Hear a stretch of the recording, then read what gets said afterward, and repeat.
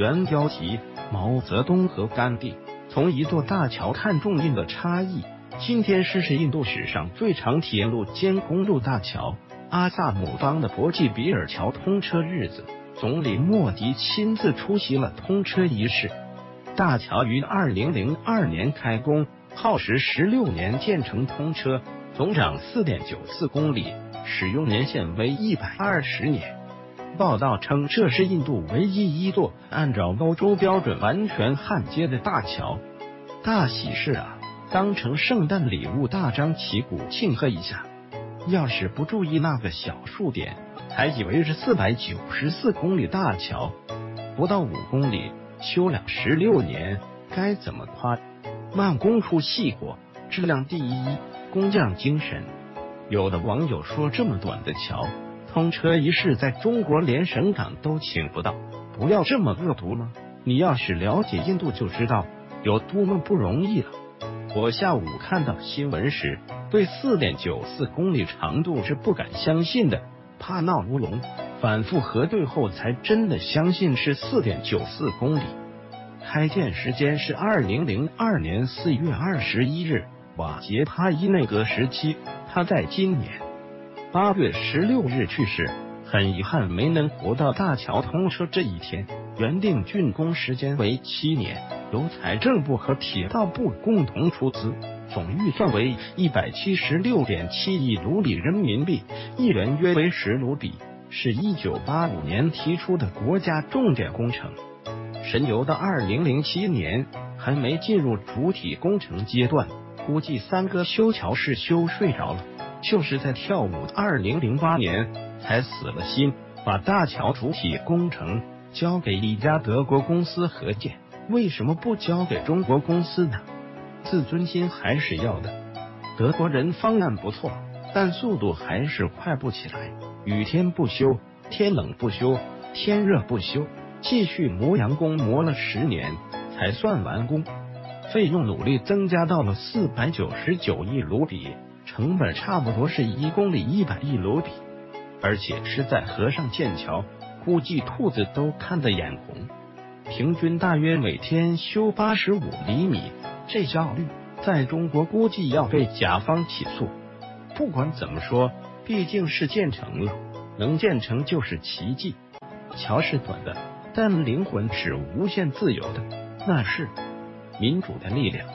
这种类型桥梁对基建狂魔来说，别说十六年，就算十六个月修五公里，怎么好意思出来跟人打招呼？中印两国为什么差异那么大？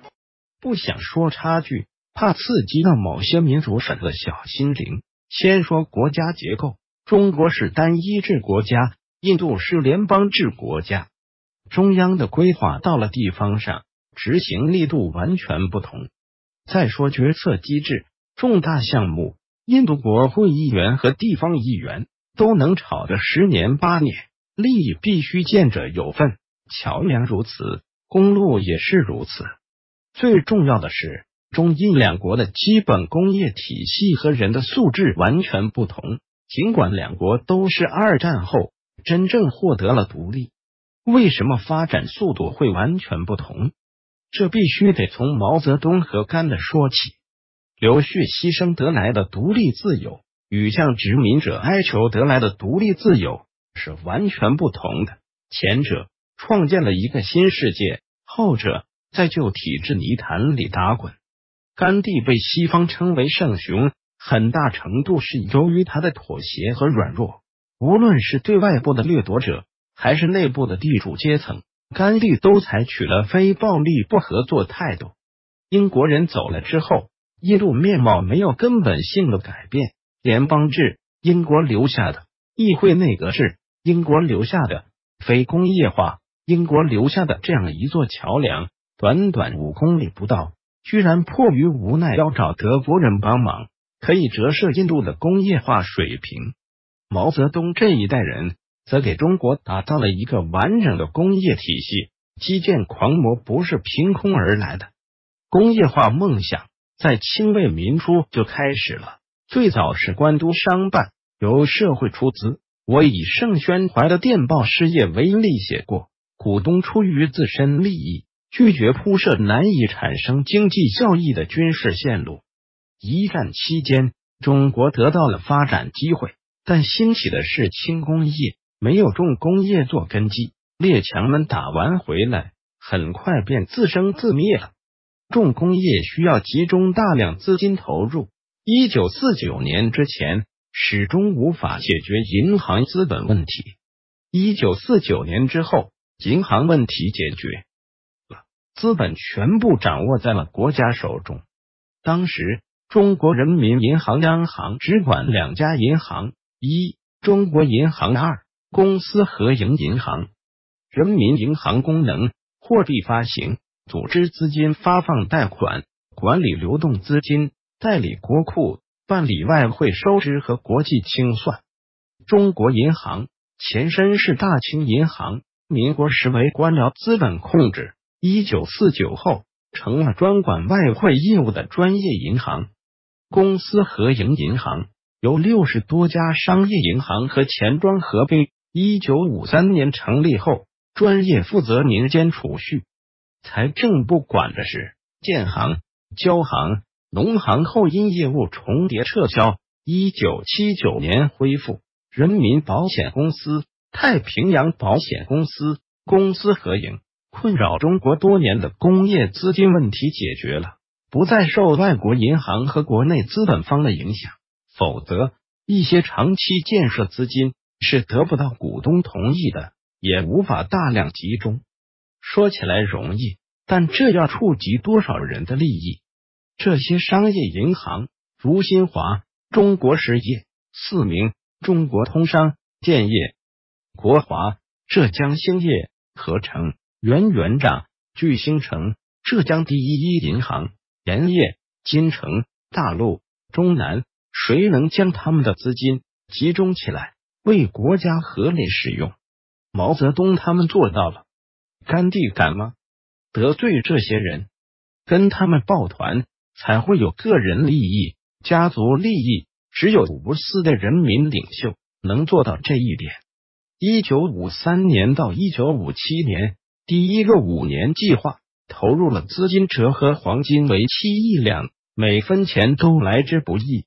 向西方借，到今天为止，借了 IMF、世界银行钱的国家。哪个不是被控制？有的还在债务泥潭里打滚。毛泽东工业化思路和逻辑，中国经济十分落后，农业、工业皆是如此，会在相当时间内处于贫困状态。这是一个务实的判断，关键是如何改变这种处境。不走工业化道路是不可能改变这种处境的。工业化要求建立一个完整的工业体系。为了达到这个要求，就必须在充分发展农业的基础上，优先发展重工业。西方发达国家工业化的起因都是源于利润动力，所以一般是轻工业繁荣在先，私人重工业发力在后，政府和垄断组织。中国则必须倒过来。当时如果走资本主义国家发展老路，一意味着。经济仍然要依赖外国，放弃对农业、手工业、工商业的社会主义改造。二意味着放弃拥有巩固的国防，在帝国主义威胁下疲于奔命，建设无从谈起。优先发展重工业，一才能使中国的全部旧工业、运输业和农业的改造和发展获得必要装备；二才能使商业发展。得到更有利条件，三才能提高工业就业人数和水平。从国际环境看，中国不如日本、西德等国，他们有美国的扶持，代价是主权。但中国比一九一七年的苏维埃俄国要有利，没有四面八方的敌人反扑，打了抗美援朝。蒋介石在小岛上顶多只能骚扰。没有工业，便没有巩固的国防，便没有人民的福利，便没有国家的富强论联合政府。工业化是新中国最迫切、最根本的利益所在，这是历史必然性决定的。毛泽东是看透了清末以来的中国工业化道路失败原因，主观上，袁世凯、孙中山、蒋介石都希望工业化，但有没有能力创造客观条件是另一个问题。列强在中国时，只允许中国发展新工业，而且是不三不四、依赖性极强的工业布局，采矿、铁路建设是否开展，根据列强利益而决定。民族资产阶级呢，爱国但软弱无力。工业化不是一个孤立问题，它关系到农业问题、思想问题、外援问题等等。当时有人反对工业化，将农业和工业对立起来；也有人认为跟苏联关系好，就可以不用这么急，就可以不要自力更生。所以那个年代老是充满着批判和争论。中国工业化进程中最大改变是，国家经济不再依赖于私人资本，而是私人资本依赖于国家经济。这个手段就是公私合。银河定息制度很复杂，省略一万字。从银行业到工商业改造是一个雷厉风行的过程，该得罪的都得罪了。没有五十年代这些改造，就没有中国工业化发展的客观条件。印度一九四七年独立，甘地一九四八年去世，国大党继承甘地精神，好死不如赖活着。连铁路还在用英国殖民时代的地主不能得罪，资本集团不能得罪，地方势力不能得罪，文人不能得罪。做好人当然有利可图，坏人都留给后代去做。火车依旧悠闲通风，厕所款式多了，厕所不知在哪里。武器进口为主，二零一八年了还有种性质。印度再不努力。孟买就要被上海赶上了，一个是基建狂魔，一个是基建狂魔。明天是老人家诞辰返回搜狐，查看更多责任编辑。